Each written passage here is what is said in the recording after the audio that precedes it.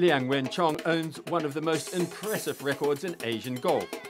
He has wins on the Japan Tour, the Asian Tour, the European and One Asia Tours.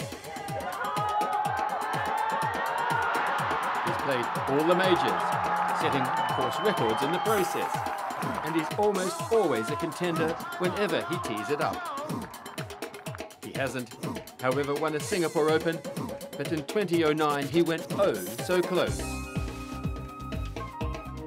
Englishman Ian Poulter went wire to wire to claim the win, his first in two years, but as we said, it was very, very close.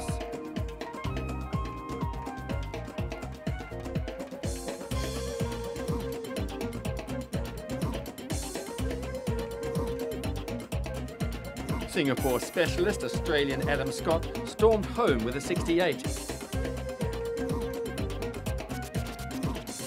Another major winner, Graeme McDowell, was also in the mix.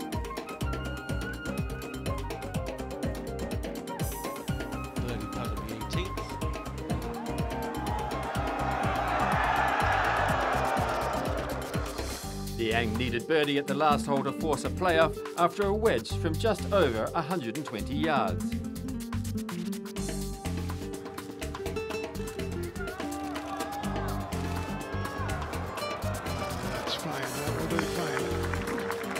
Just what he needed to do. Poulter had two putts to win, and from there, it was a formality. Poulter is the winner. I think there must be some relief in his mind that he's done it. There were some anxious moments, 66, 64, but a couple of 72s, two over par over the weekend.